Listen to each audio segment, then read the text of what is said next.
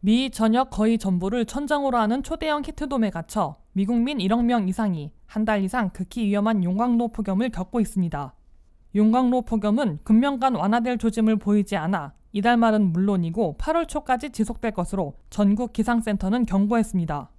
21일에도 화씨 103도, 섭씨 39도에서 화씨 120도, 섭씨 52도 사이에 가마솥 폭염을 겪고 있는 미국민들은 전체의 23%인 7,700만 명에 달하고 있다고 워싱턴 포스트가 보도했습니다.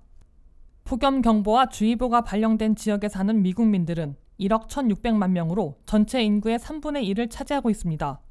캘리포니아에 있는 데스밸리는 화씨 133도, 섭씨 56도를 찍어 꼭 100년 전인 1923년에 화씨 134도 기록에 도달했습니다. 주요 도시들의 최고 기록 신기록도 잇따라 갱신되고 있습니다. 네바다의 라스베가스는 화씨 116도, 플로리다 잭슨빌은 113도, 애리조나 피닉스는 111도를 기록했습니다. 피니스는 화씨 110도, 섭씨 43도의 폭염이 21일째 이어지고 있고 텍사스 엘파소는 화씨 100도, 섭씨 38도 이상의 폭염이 35일째 계속돼 예전의 23일 신기록을 갈아치웠습니다.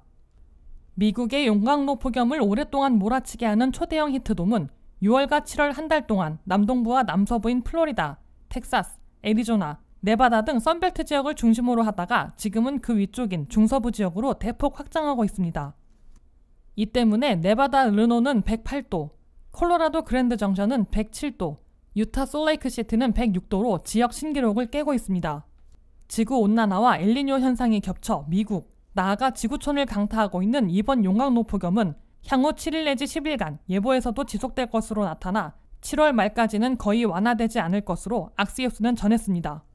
초대형 히트돔의 중심지로 새로 잡고 있는 중서부 지역에서는 적어도 8월 초까지 폭염이 기승을 부릴 것으로 경고되고 있다고 악시오스는 밝혔습니다.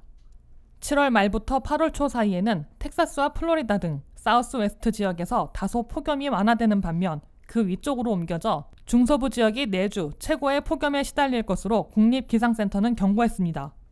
100년 만에 최악의 폭염으로 기록되고 있는 이번 용광로 폭염은 지역별로 극심한 가뭄과 집중 폭우, 나아가 허리케인을 몰아치게 만들어 막대한 인명 피해와 재산 피해를 낼 것으로 우려되고 있습니다. WKTV 뉴스 안혜렌입니다.